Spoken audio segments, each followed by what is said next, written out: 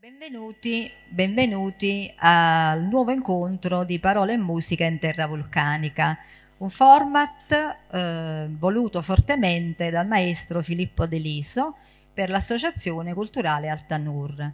Eh, all'interno delle connessioni inattese, che è il nostro grande contenitore annuale tematico, eh, in cui praticamente inseriamo tutta una serie di attività culturali e ludiche, eh, questo nuovo format è particolarmente interessante perché vuole coniugare incontri eh, che hanno una base letteraria, poetica, eh, musicale e ancora altro. Quindi in realtà mi fa molto piacere che questa sera abbiamo qui con noi eh, praticamente la possibilità di presentare questo libro e abbiamo anche i giovani ragazzi del laboratorio del maestro Ascione. Io vorrei passare la parola direttamente a Filippo Deliso, che è praticamente una persona eclettica, vedrete adesso, insomma, apprezzerete la sua, diciamo, la sua performance. Filippo, ti lascio la parola. Grazie. Grazie Maria. Veramente sempre bello venire qui a San Giorgio a Cremano. Chissà, chi è questo San Giorgio, no? Grande guerriero delle milizie terrestri. Stop, non aggiungiamo altro. Questa situazione di coniugare la musica, la poesia, la letteratura, l'emozione, l'arte in genere, è un cavillo sempre presente nella mente dei musicisti perché il musico, anche dalla antichità di Boezio, è uno sciamano. Essere sciamani è qualcosa di quasi misterioso, no? Termine greco mistico, mistero, e da cui deriva la mistica. A che cosa serve l'arte? L'arte serve ad elevare lo spirito, ma l'arte è anche una tangenza, cioè toccare con mano qualcosa che noi viviamo quotidianamente. Il quotidiano, lo dico spesso in molti incontri, si scontra violentemente con l'arte, perché l'arte è una espressione dell'intimo e molte volte questa espressione è veicolata da un grande pudore. Ma il pudore non è concesso all'artista, perché l'artista deve, in un certo senso, essere performer. A questo punto abbiamo tanti artisti che sono eclettici nella terra vulcanica della Campania, attenzione perché non dobbiamo limitare il giro a quel raggio piccolo che può essere la provincia di Napoli oppure la zona, come dire, quella vesuviana, no? Ma abbiamo una storicità della cosiddetta Campania Felix, dove questa felicità è corroborata da tante ecletticità tante genialità, ma poco, come dire, apprezzata. Cosa vuol dire l'apprezzamento? L'apprezzamento vuol dire pagare, prezzo. Noi parliamo di felicità. La felicità molte volte è agognata, ma la felicità purtroppo non basta. Dico sempre che la felicità deve avere una risposta secondo una legge definita legge della conservazione dell'energia. Quello che do, ricevo. E il maestro supremo di questo è Dante Alighieri, che attraverso la legge del contrappasso giudica un'intera società ponendola al cospetto di tante realtà che vengono appagate da un concetto di ritorno del proprio dare, al proprio quindi ricevere. a questo punto è naturale che io vado a vedere quelle che sono le sensibilità di corrispondenza, di risonanza. Tra di noi, dal punto di vista artistico, abbiamo delle risonanze e selezioniamo, ecco, selezionare, brutto termine, in realtà individuiamo la disponibilità di quegli artisti che, che hanno al proprio interno una componente di natura eclettica. A questo punto l'eclettismo affiora prepotentemente in un artista che io ho definito la mia sposa, dirsi, letteraria, artistica. Perché? Perché Rita Pacilio, che presenteremo, la farò accomodare alla mia destra, perché dovete sapere che Jean-Luc Godard ha fatto un film, Je te salue Marie, dove viene affermato cura la tua destra. Perché cura la tua destra?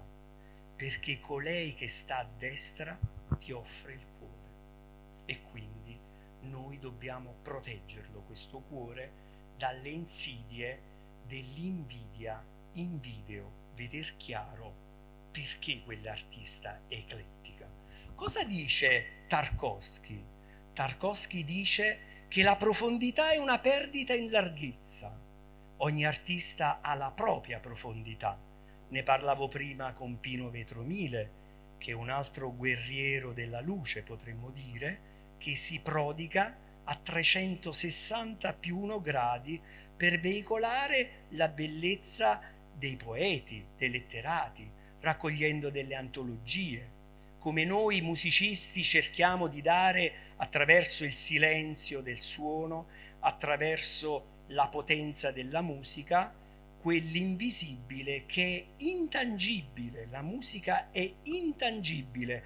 Pensate che si parla di ineffabilità, cioè di iperdefinizione della stessa quando la realtà è invisibile.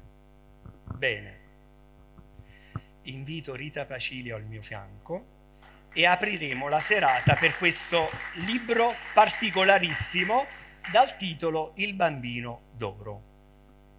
A te la parola, presentati. Buonasera, grazie per l'invito. Io non conosco la signora, non ci siamo nemmeno presentate prima. Eh, lo faremo dopo. E grazie per l'ospitalità, per eh, l'accoglienza, per le belle parole introduttive. Io mi presento come una, una creatura di questo mondo, di questa contemporaneità, eh, con tanti talenti, quello sì, ma non è merito mio sicuramente eh, e con la necessità di comunicare o comunque l'urgenza di mettermi in contatto con le persone, quindi con le altre anime e con le cose, perché anche le cose ci ascoltano, anche le cose eh, assorbono da noi la nostra energia quindi che sia un'energia positiva stasera e tante parole in cui insomma poterci ritrovare un po' tutti insieme. Grazie.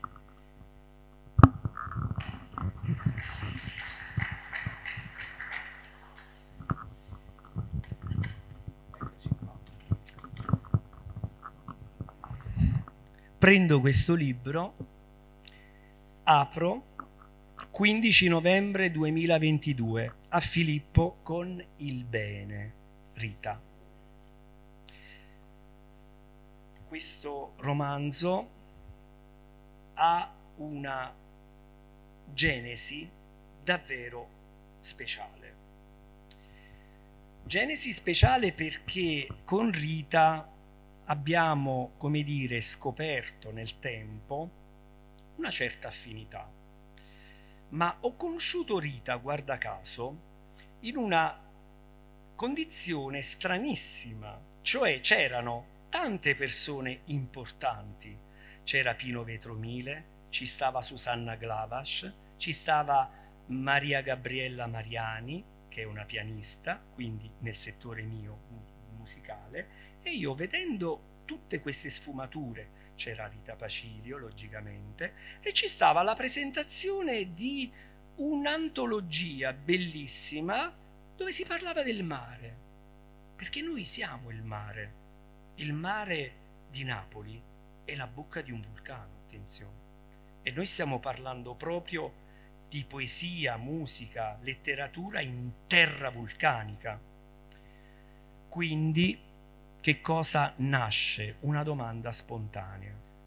Rita Pacilio è molto nota in Italia e anche all'estero, ma come nota? Noi siamo tutti noti, no?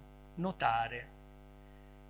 Vediamo in internet, non conosciamo una persona, interroghiamo uno dei motori di ricerca pluripremiati del mondo, di nome Google. Entriamo all'interno e vediamo libro di poesie, libro di poesie, libro di saggio, libro di critica, traduzioni. C'è una marea di qualità. Performer, vocalist, sa cantare, sa recitare, sa scrivere quindi, ma addirittura come si sarebbe augurato qualcuno, no? Di solito quando un musicista diventa produttore, diventa competente, cioè entra all'interno del meccanismo, diciamo, di produzione diventando militante dell'arte. Le performer, questa donna è una performer, ci rimette la faccia. Si chiamano frontman, cioè in questo caso front woman, ok, bello, questione di genere, no, siamo in prima fila come in una trincea e quindi esterna una capacità di natura musicale perché un giorno io le chiedo, Rita, come mai fai la performer? e lei mi racconta che da bambina ha rischiato di andare allo zecchino d'oro. Wow. Dopodiché succede qualcosa di molto particolare perché la vita è la maestra di tutte le arti. Addirittura c'è una contropartita della vita. E entreremo poi nell'argomento scottante di questo libro dove praticamente c'è una coniugazione tra Colette e Flaubert e i due si scambiano lettere d'amore. Perché parliamo di amore platonico, signori, non parliamo di amore sessuale, perché l'amore sessuale non sappiamo proprio che farcene.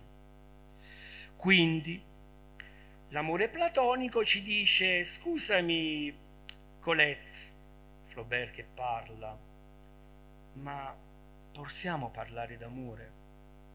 No. Come? Non possiamo parlare d'amore? No.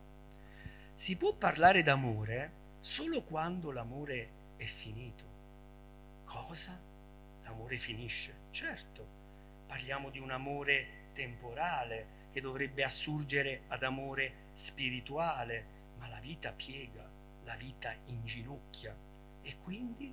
Quindi si può parlare d'amore, si può scrivere d'amore solo quando l'amore è passato. E perché in questo dialogo tra Flaubert e Colette? Dice perché quando si vive un amore è già di per sé poesia. Questo silenzio è bellissimo. Allora la prima domanda che faccio a Rita Pacilio Rita, la tua sensibilità io l'ho vissuta incontrandoti. Logicamente io sono una persona estremamente sensibile, estremamente riflessiva. Non mi faccio sfuggire nemmeno l'ala di una mosca davanti al naso. Naso bellissimo, chopiniano, mendelssohniano.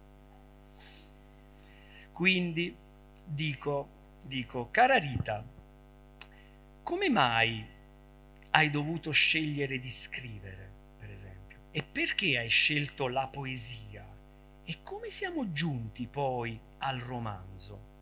È una curiosità di tutti. E come mai la musica così affascinante e marginale oppure poteva essere un'attività. Ricordiamo che Rita ha fatto un disco con uno dei più grandi jazzisti italiani, Claudio Fasoli. E perché? Perché Claudio Fasoli, intelligentissimo, grande artista, ha pensato ad una originalità. Guardate che i musicisti sono tremendi, eh? parlo in prima persona. Sono terribili i musicisti perché cercano nella coniugazione tra le arti la propria mistura di originalità per dire io sono. Perché il musicista è un narciso, non, non ci sono. Non essendoci tangibilità col suono, affiora l'immagine in prima persona. Quindi Rita cosa fa? Esplica una qualità della declamazione. Klangfarber Melodie era praticamente la, l'arte di mettere i timbri insieme.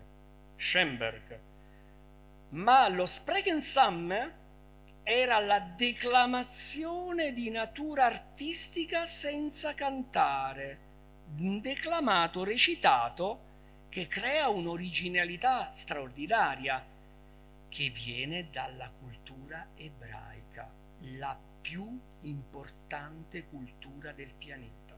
Perché? Perché tutta la musica nasce come coniugazione dell'uomo con Dio, la propria centralità. E questo popolo ha aperto gli altari alla musica greca. Incredibile. Quindi chiediamo a Rita, e lei ci onora di questa cosa, questo percorso che ti ha portato a assorbire tante ricchezze, quale sintesi oggi, al cospetto di questa conquista, ti pone nella tua maturità? Perché guardate, e vi cito un'altra cosa, Mila Kundera, in un libro prodigioso intitolato L'arte del romanzo, Rita Pacilio è poetessa, attenzione, quindi ci sono dei cecchini che dicono, vediamo Rita, sei brava anche a scrivere i romanzi. È chiaro questo. È come se io mi metto a fare il poeta e dico, wow, vediamo se questo giovanotto che fa il musicista è in grado di fare anche il poeta. E io tiro fuori l'arma di Wagner, cioè che Wagner scriveva i propri testi e faceva le sinfonie. Ok? Quindi Rita cosa fa?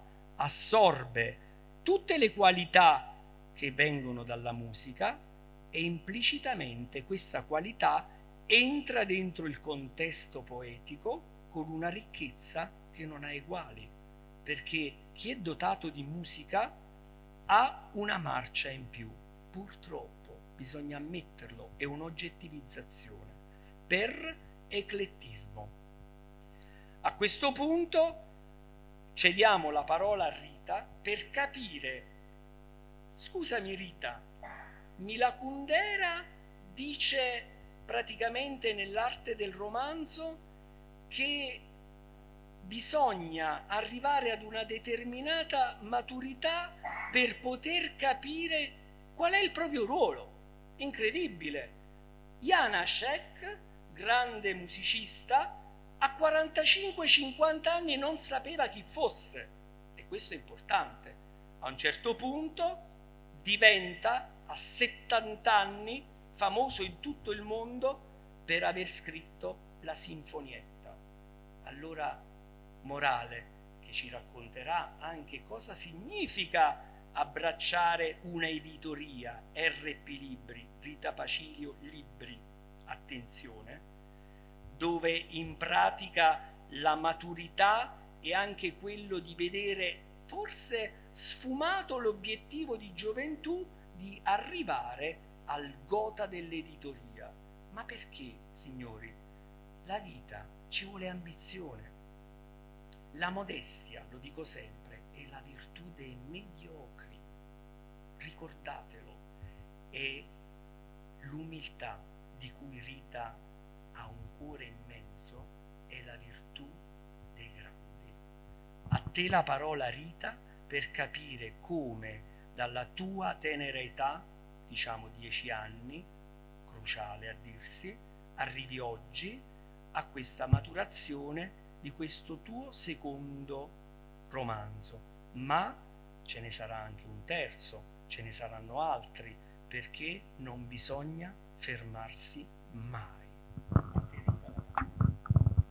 Filippo, per le cose che hai detto mi sono sentita un po' extraterrestre, un po' non lo so, non questa. Io sono una persona semplicissima che come tutti gli esseri umani eh, si lascia eh, prendere dalla vita. La vita ha deciso per me, non ho deciso io niente. Io avevo quattro anni ed ero già stata selezionata per l'Antoniano, eh, ma poi si è ammalato mio padre e, e poi varie vicende familiari e sono rimasta comunque a casa. E, ehm, la mia vocazione, se vogliamo chiamarla così, la mia missione, ma anche il mio talento che non ho scelto io di avere, ma che, me, che mi è stato donato, che è un dono, che sono doni che abbiamo tutti e a volte ecco l'importante è riconoscerli, l'importante è crescere con questa consapevolezza che un dono debba fruttare, debba essere anche elargito, condiviso con gli altri. Eh, tutte le cose che ci teniamo per noi non hanno nessun valore, finiscono lì non, non si vedono, non fanno frutto, non prendono aria e non vanno verso la luce, verso il sole. Quindi la cosa bella è proprio condividerla. La vita ha deciso per me perché a nove anni eh, ho perso mio padre. Eh, e non è nemmeno corretto dire ho perso perché fondamentalmente io non l'ho perso mai.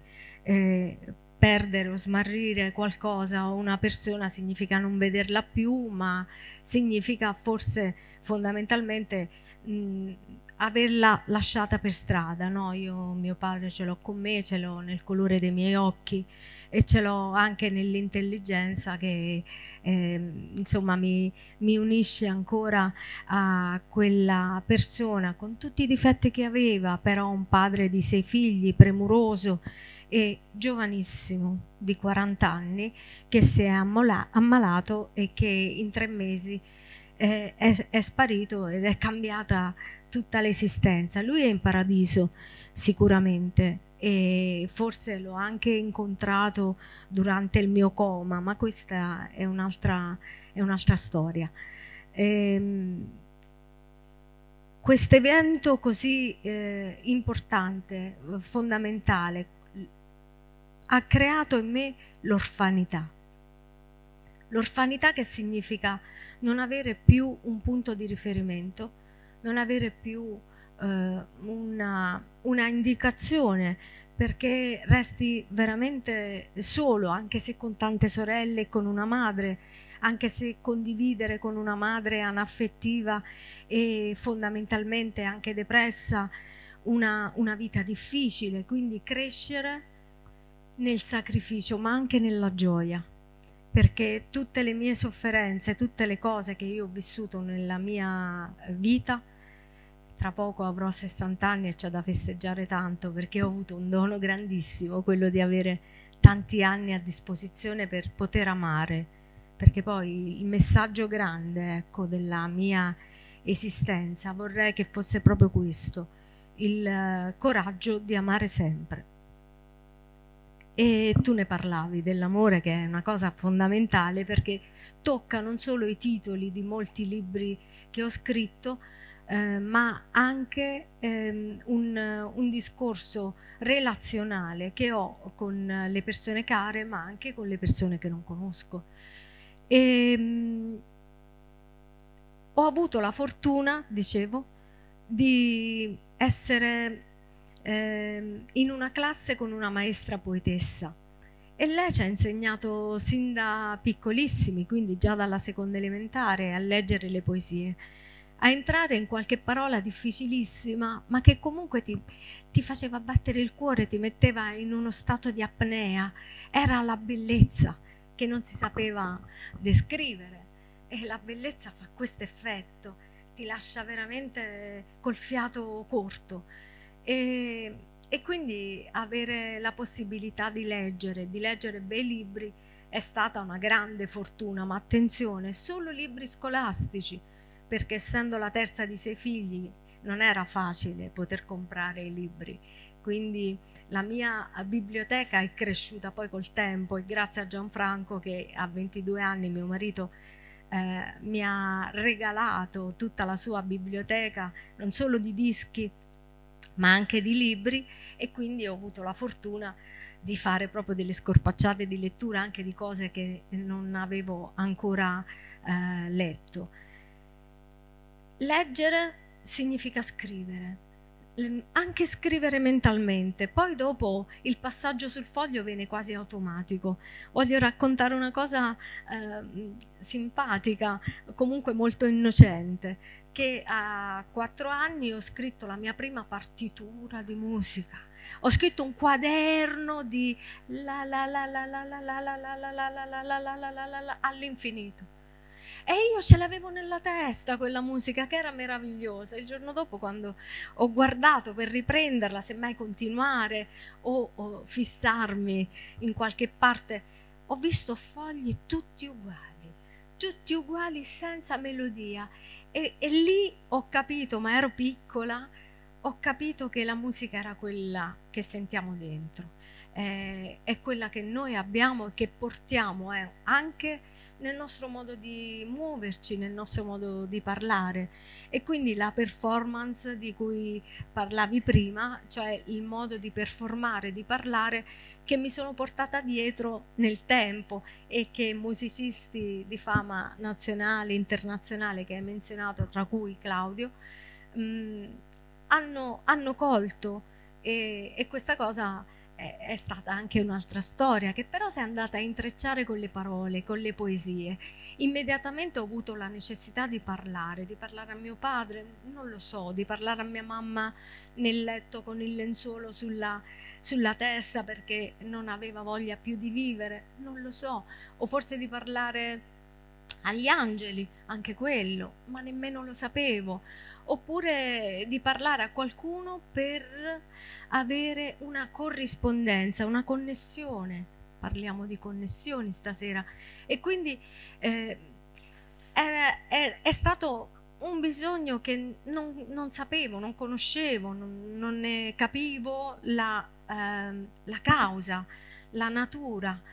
E ho cominciato a scrivere eh, ho ancora conservato questi quaderni che adesso a rileggerli mi fanno una tenerezza incredibile, come quando parlo con i miei figli o quando parlavo con i miei figli da, da piccoli, i bambini ti fanno sempre tenerezza. E lì ho trovato la bambina che ho iniziato a prendere per mano e mano a mano l'ho, l'ho accompagnata in questa vita perché non fosse più sola, perché la causa forse più grande della scrittura è nella solitudine, nel voler comunicare, nel voler dire comunque qualcosa di sé, ma attenzione, non a livello di sfogo, di diario, di non lo so, eh, un'esternazione fine a se stessa. No, erano messaggi forti che volevo lanciare, dare, eh, tipo eh, salvaguardare la natura, per esempio, salvaguardare le persone più fragili, avere la capacità di amare anche coloro che sono sempre ai margini della società. E, e quindi ho cominciato anche a formarmi in questo senso.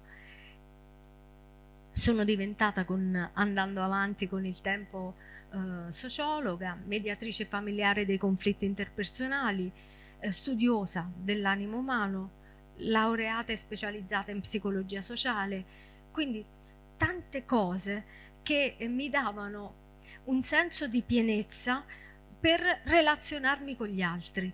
Gli altri per me le persone, ma anche le piccole creature del nostro eh, ecosistema o, o, comunque del nostro mondo sono troppo preziose, hanno un, ognuna di noi conserva qualcosa di importante, di prezioso, che va mh, comunque rispettato innanzitutto e accolto, perché siamo tutti con, una, mh, con tante cose da dire, abbiamo tutti un'esperienza che si può condividere e che può arricchirci quando ci mette in una uh, comunicazione, in una comunione. Ecco, creare comunione è una grande... Ehm, è un grande compito, forse non basta una vita per farlo, però ci si prova. E quindi le mie scritture sono andate dalla poesia alla prosa poetica, alla, alla saggistica, alla letteratura per bambini, sono usciti da poco alcuni piccoli libri suggestivi che poi parlano di ambiente oppure di salute, di salvaguardia della persona, di cura della persona e quindi di se stessi perché se riusciamo eh, ad amare noi stessi siamo in grado di amare anche gli altri. Ed è mm, una cosa bellissima eh, ed è stata una cosa bellissima poter avere anche la possibilità di entrare nel mondo della narrativa.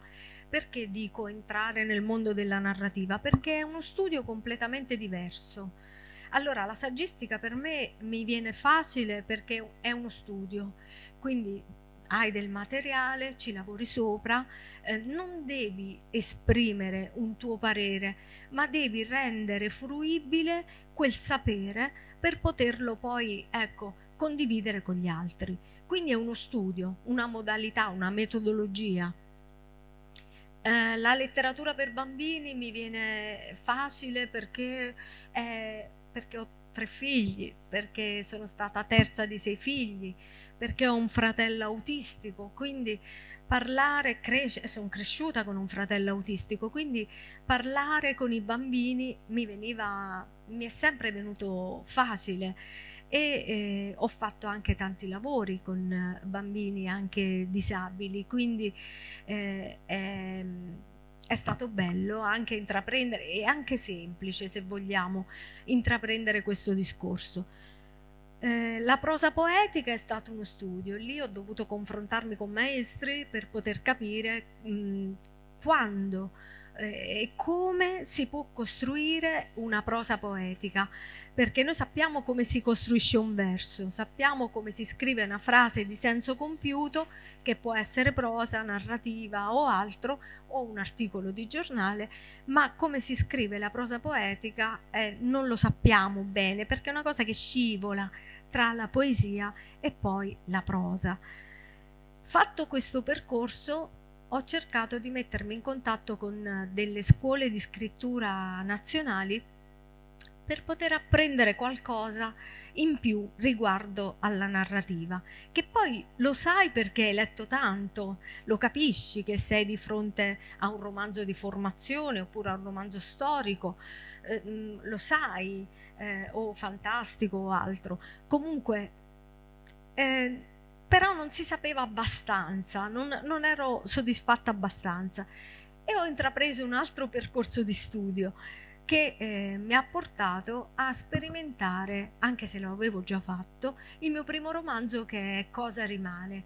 E in realtà prima del primo romanzo c'è eh, una serie di racconti, L'amore casomai, ehm, che sono appunto questi racconti in prosa poetica, brevissimi, fulminei, ehm, dove la parola viene proprio scarnificata fino, a, fino in fondo, dove il ricercare come per la poesia la parola adeguata, quella giusta, quella che comunque è talmente mostruosa da farti tremare l'anima, così come diceva eh, Rimbaud, cioè allora significa che eh, si poteva procedere verso la narrativa. La mia è una narrativa eh, sicuramente di formazione perché i miei personaggi vanno dal passato al, al presente e, e, quindi crescono in questo, nella storia, nella trama eh, e soprattutto eh, sono mh, eh, molto evocativi perché mi piace conservare la mia caratteristica poetica e cioè quelle parole che mi portano a, a trovare più sensi, più significati di una stessa parola o addirittura il significante che è ancora una cosa eh, visionaria, ecco, e che mi piace assolutamente conservare nelle storie. Non è, ci tengo a precisare, che non è la storia il, la protagonista di qualunque tipo di scrittura, ma è il come questa storia viene raccontata. Quindi che cos'è? È il linguaggio. Abbiamo tanti linguaggi, la musica, la parola, quindi la scrittura, eh, la pittura, la fotografia. Abbiamo tante forme di espressione, ma il linguaggio che caratterizza un autore, quello che tu scegli con la consapevolezza di sapere che eh, stai facendo proprio quello, eh, allora lì trovi la peculiarità, eh, la professione, se vogliamo, no? la, la, serietà anche di chi scrive. Quindi tutti scrivono, tutti scriviamo, va bene, ognuno faccia il proprio eh, lavoro, il proprio mh, mm, che ne so, anche eh, sogno, ecco, perché per molti pubblicare è un grande sogno. Invece in realtà a me è venuto facile anche perché sono 30 anni che lavoro nell'editoria, ho collaborato con molti editori, mi sono trovata a dirigere mh, molte collane, eh, sia di poesia che di narrativa, quindi è stata una bellissima esperienza quella di avere il contatto diretto con eh, la, l'elaborazione di un testo. E, e, ed essere in contatto con l'autore perché l'autore in, qualunque esso sia, di qualunque livello esso sia, perché è vero che bisogna sapersi misurare, però è, è, è giusto che tu parlavi di ambizione, più di ambizione voglio dire consapevolezza, del punto dove siamo e dove vogliamo andare. Ma la cosa fondamentale è la progettazione, essere sempre con, vigili sulla, sull'obiettivo, avere chiari i punti, gli step da fare per poter parlare agli altri. Quindi un libro è proprio questo, una grande comunicazione, un portare, un portare eh, significato sicuramente, ma soprattutto linguaggio, portare, portare, una modalità, aggiungere qualcosa. Se sappiamo, eh, se ci rendiamo conto che abbiamo veramente aggiunto qualcosa alla, all'arte che, che è già piena, è stato già detto tutto, è stato già fatto tutto, forse potevamo fermarci alla Divina Commedia, pensa te. Però, però se quando si aggiunge in maniera costruttiva un, un, piccolo granello, non parliamo di tasselli o di segmenti, ma proprio veramente un piccolo granello a quello che è stato già fatto, allora eh, è valsa la pena vivere.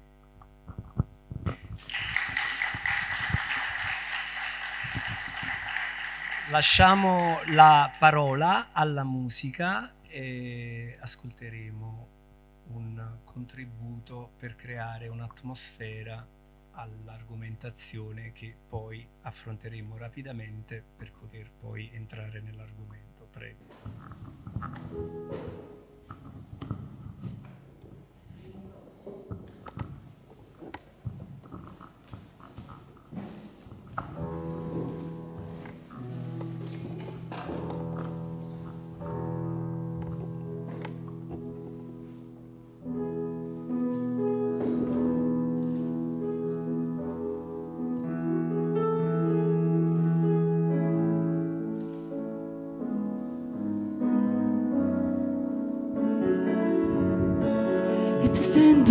Scala e corse senza guardare e ti vedo tutti i giorni che la renda per fatica ma morire più. E lontano se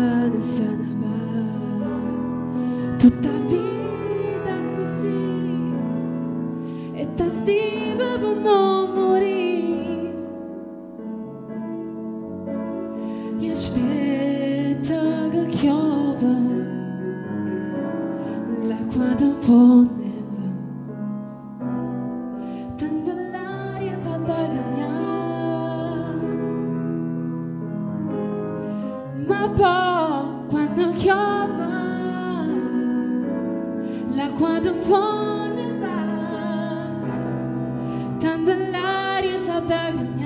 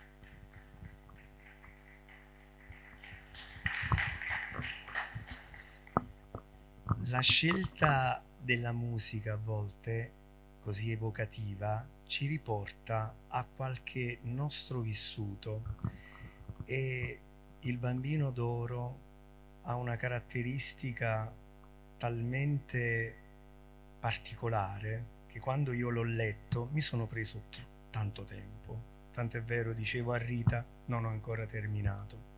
Immaginavo che probabilmente Rita avrà pensato, scusa ma cosa c'hai da leggere qui? Cioè quello è breve, guardate, la sintesi, no? La densità di un romanzo. La prima domanda che faccio a Rita Pacilio, innanzitutto il titolo è bellissimo, Il bambino d'oro.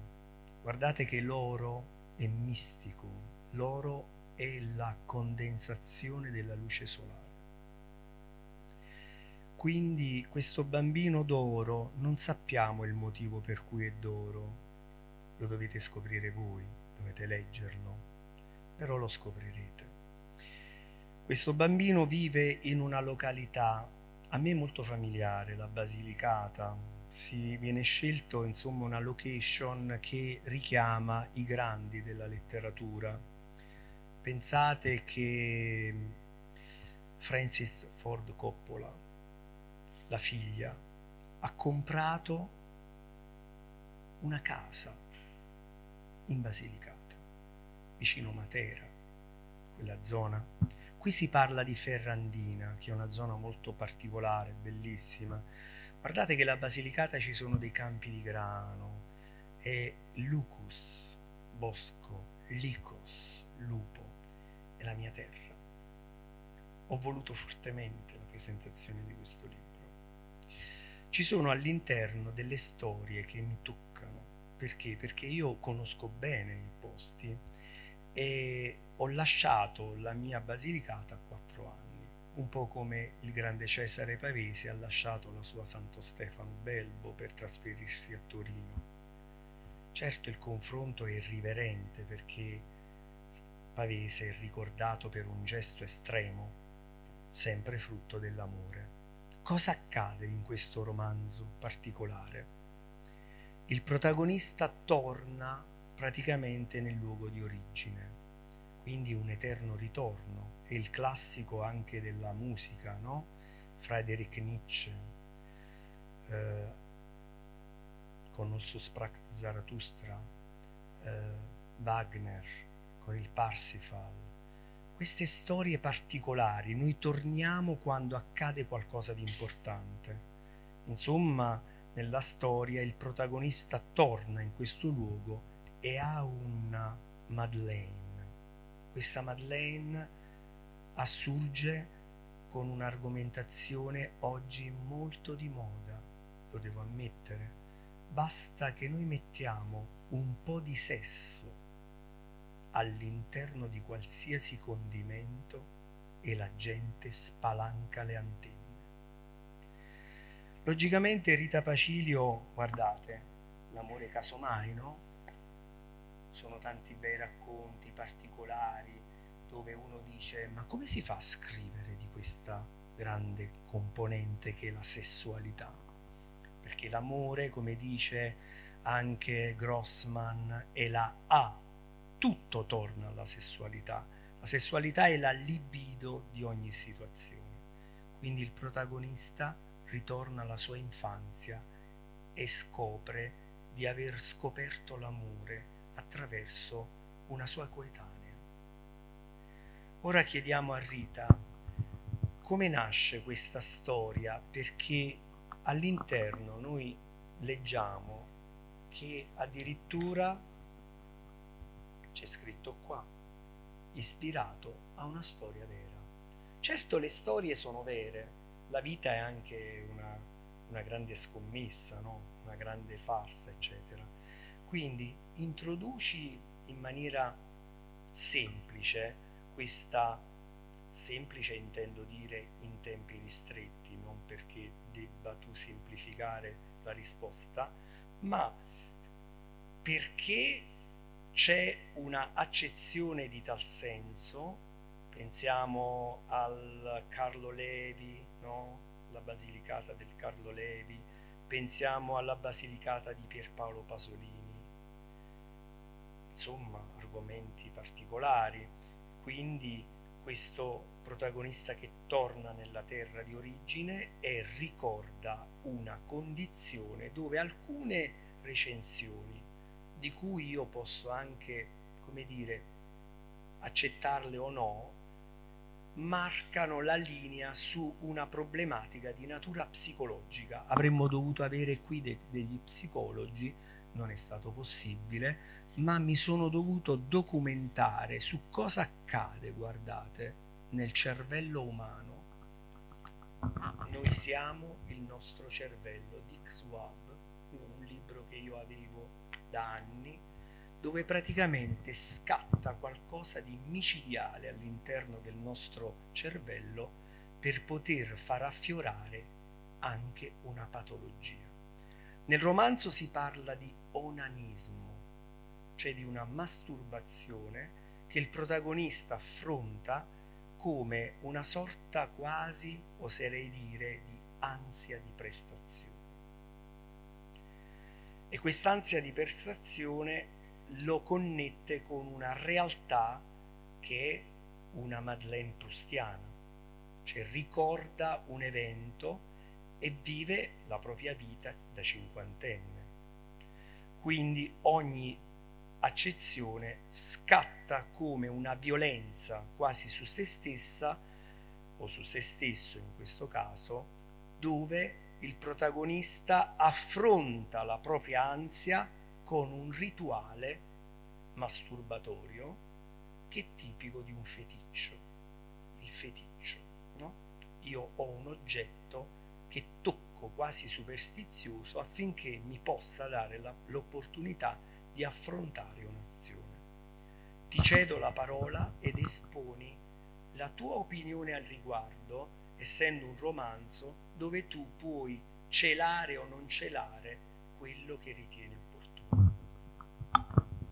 Allora, abbiamo detto che è un romanzo, quindi ispirato a una storia vera, perché mh, tutta la mia scrittura comunque nasce da situazioni eh, che ho conosciuto, che ho toccato, che ho visto, eh, molta eh, scrittura anche poetica riguardo a violenza sui bambini, eh, violenza fatta alle donne, eh, vendita dei corpi dei bambini e tante altre cose, vengono dai miei studi dalle conoscenze eh, di esperienze anche di altre persone.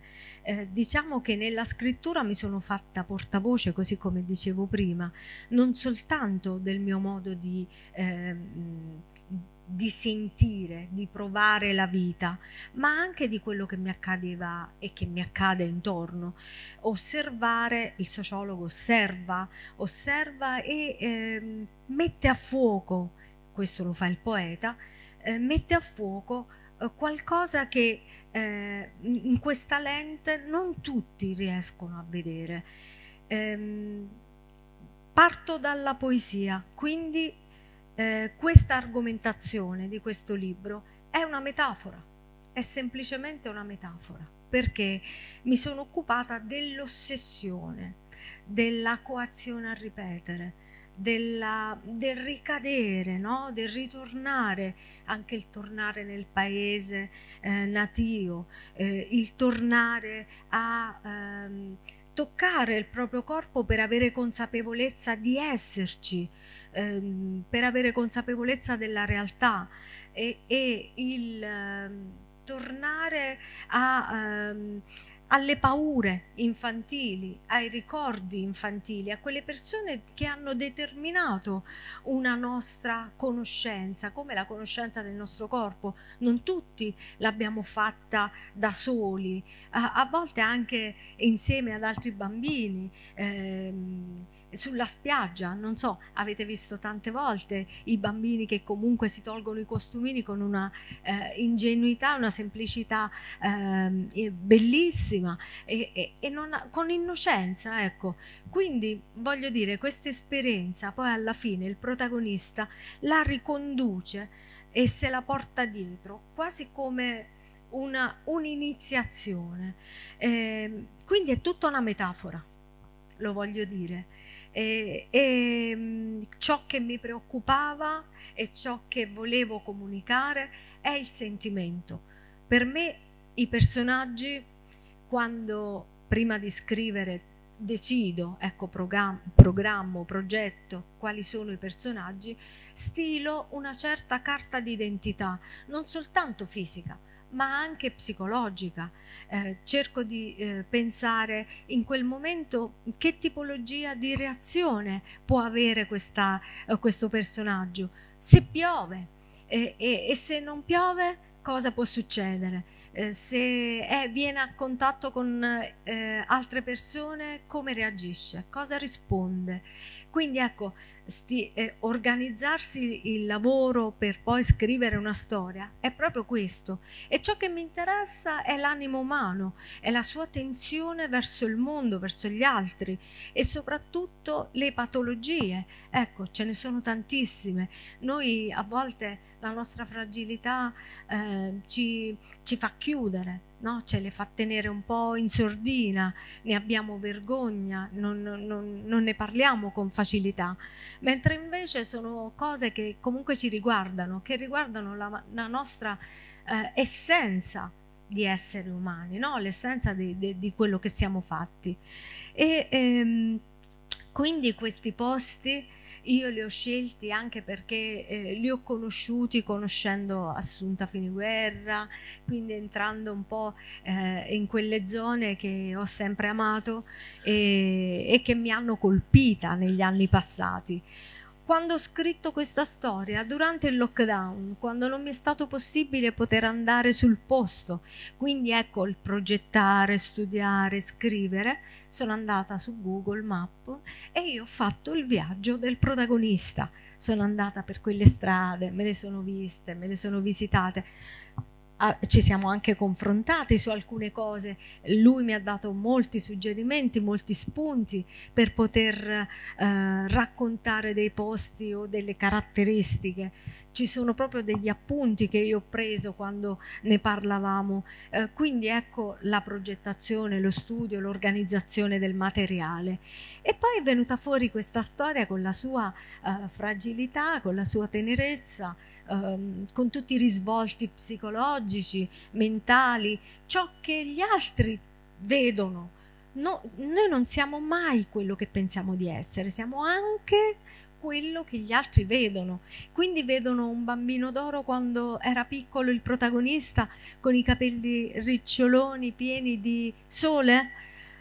E siamo questi, siamo anche pregiudizio.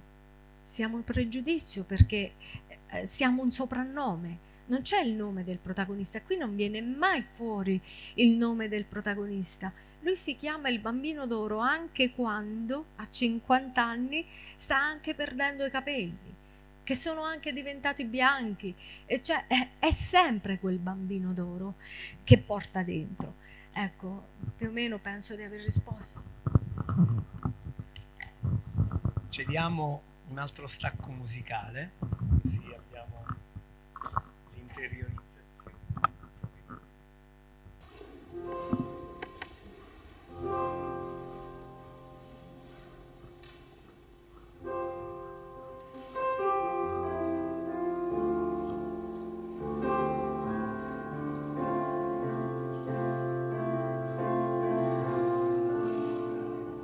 There ain't no one in this river.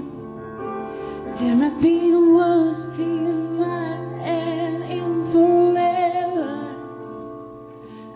I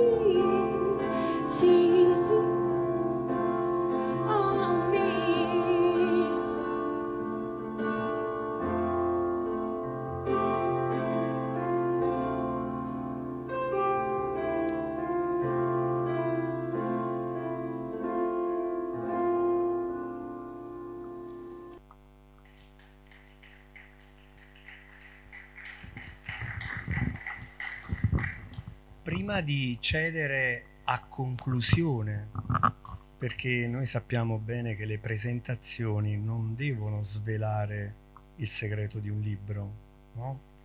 Il libro si legge, si scopre, però abbiamo disseminato di argomentazioni un po' tutte le cose. Ci sono quindi alcune considerazioni veloci da fare, le leggiamo, che sono quelle che, come dire, rientrano nella fase psichica dell'argomentazione che andrete a leggere nel libro e poi faremo leggere a Rita uno stralcio del libro. Così ci salutiamo tutti contenti di aver disseminato dei semi in un terreno che dovrà vederli crescere senza darvi la pianta già bella e fatta. Allora vi leggo uno stralcio praticamente di quel che accade nel cervello quando siamo innamorati. il protagonista bambino è, è cervello. Guardate che la ragione non può niente contro il cervello. Che strana affermazione, come se il, la ragionevolezza fosse il cervello. Il cervello è un sistema aperto che comprende la ragionevolezza, non è la ragionevolezza. E guardate che bella affermazione questo scienziato dice quando succede l'innamoramento. Figuriamoci se l'innamoramento accade nell'infanzia, è indelebile, è una cosa potente, una cosa che non si potrà cancellare nemmeno se dovesse accadere una degenerazione di natura cerebrale. Dice lo scienziato, ve lo cito il nome eh, di questo ricercatore, Dix Wab, noi siamo il nostro cervello. Gli innamorati presentano una più elevata concentrazione nel sangue dell'ormone dello stress, il cortisolo a dimostrazione della situazione carica di tensione in cui si trovano. Quindi immaginerete cosa accade al protagonista quando a un certo punto la sua memoria affiora nel tornare, nel ritorno, sottolineato da Rita.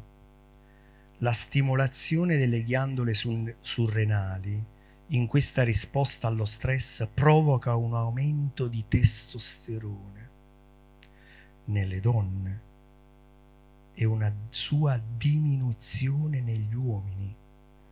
Guardate un po', sapete cosa dice il mito greco dell'amore? Che Marte deve essere disarmato da Venere. E se Marte perde testosterone, Venere chi disarma? Si è rovesciato il sistema.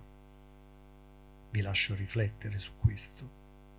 La masturbazione potrebbe essere una compensazione di ciò che il sistema ha offerto grazie alla sua rottura.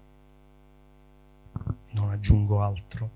Andiamo avanti di pochi passi, perché tanto stiamo addirittura di arrivo, stiamo tagliando il nastro per dire è stata una bella serata.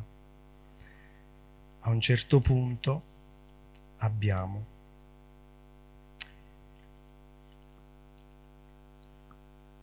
Solo quando l'innamoramento perdura da tempo si attiva anche la corteccia prefrontale, la parte anteriore del cervello, con la quale si pianifica e si effettuano valutazioni.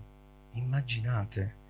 E quando la coppia si stabilizza, perché è sempre una relazione a due, anche con se stesso è una relazione a due, attenzione dell'asse dello stress, vedete, l'attivazione e i cambiamenti quindi della concentrazione del testosterone scompaiono. E a un certo punto praticamente anche la psicosi, le cosiddette malattie mentali intervengono all'interno di questo meccanismo quindi l'elaborazione sensoriale che avviene nella corteccia gioca un ruolo proprio nel periodo eccitante, guardate. In fin dei conti quel partner lo abbiamo visto, toccato e ne abbiamo percepito l'odore. Guardate che nella ricerca del tempo perduto Proust dice la stessa cosa. Quindi abbiamo che solo quando l'intenso innamoramento è terminato, la corteccia cerebrale prende il sopravvento. Quindi, guardate che bellissima conclusione, se uno dei vostri figli è innamorato della persona sbagliata, non rimproveratelo dicendogli che doveva usare il cervello. L'ha fatto ma quelle parti della corteccia cerebrale che dopo un'attenta e ponderata riflessione avrebbero potuto portare ad una scelta diversa, come la corteccia prefrontale, purtroppo intervengono nel processo troppo tardi. A te la parola, Rita. Bene, allora tutti gli spunti di riflessione che un libro può dare sono sempre interessanti, anche perché poi, ecco, da un libro ehm, ognuno, ogni lettore ne trae il proprio mh, significato, eh, legge delle cose che al limite non erano state nemmeno previste. Insomma, eh, è bello trovarsi di fronte a tanti altri mondi e potersi confrontare soprattutto da lettore, questa è un'esperienza molto bella. Io ti ringrazio Filippo, ringrazio tutti voi e vi lascio con qualche frase presa qui e lì. È uguale a come l'ho lasciato da bambino. Appena imbocco la strada interna che porta alla collina materana, sento di essere già a casa il borgo, il borgo di Ferrandina sembra conservare sempre lo stesso mistero. Dalla valle del Basento lo vedo dominare il paesaggio sottostante, è un'opera d'arte con quelle casette tutte attaccate una all'altra e intervallate dalle scalette dove abbiamo giocato al nascondino tutta l'infanzia Quando arrivo in paese mi soffermo a guardare l'insegna del bar della piazza per cercare quella che per me è ormai una conferma. I 40 anni passati non hanno cambiato niente. Camminare per queste strade mi fa sentire battagliero e ribelle, così come pensavo di essere un tempo. È come sapere che a ogni passo porto con me la memoria dei greci, dei longobardi e dei normanni, fino ad arrivare a Crocco, il brigante. È mia madre, una delle donne più anziane del paese adesso, e mi aspetta seduta dietro i vetri con la sua solita espressione che io conosco, quella già pronta per un bacio. Sono vittima, sono incapace di ipotizzare che questa mia ossessione stia sconvolgendo la mia dignità le astuzie e i sotterfugi hanno il difetto di distogliermi dalla responsabilità di chiamare per nome il mio problema. Anche durante i colloqui a scuola ho dovuto affidarmi a uno stratagemma, scappare in bagno con una scusa per concedere alla voce che porto dentro di manifestarsi nell'unico modo che riconosce, anziché fiammeggiare lì, trincerandosi dietro a una solitudine che nessuno potrebbe varcare. Grazie. Quando la parola termina, la musica ha inizio e chiuderemo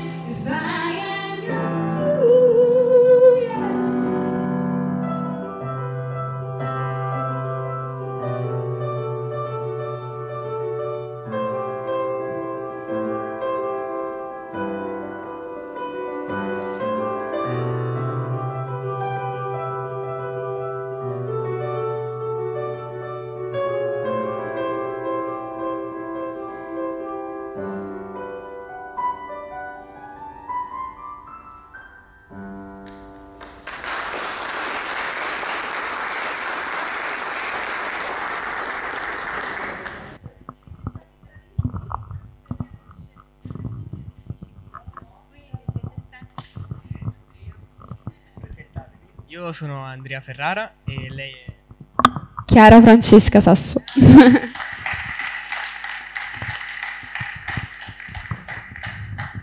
Maria? Vuoi chiudere? Sì, due parole. Salutiamo tutti. Grazie. Allora vorrei prima di tutto ringraziare Rita Pacilio perché mi sono veramente commossa. Commossa, interessata e mm, sono entrata in una dimensione diversa, quindi mi ha fatto molto piacere e Filippo che ha coadiuvato questa bella atmosfera di stasera, veramente micidiale, direi micidiale. La stessa cosa ringrazio i due ragazzi e il maestro Ascione perché in realtà la musica ha praticamente coinvolto e coadiuvato questa atmosfera molto interessante. Abbiamo sentito delle cose eh, profonde sulle quali riflettere e quindi vi lasciamo con questa bella, bella cosa, bella suggestione, belle cose su cui pensare. Grazie ancora, vi ringrazio e alla prossima uh, attività. Grazie.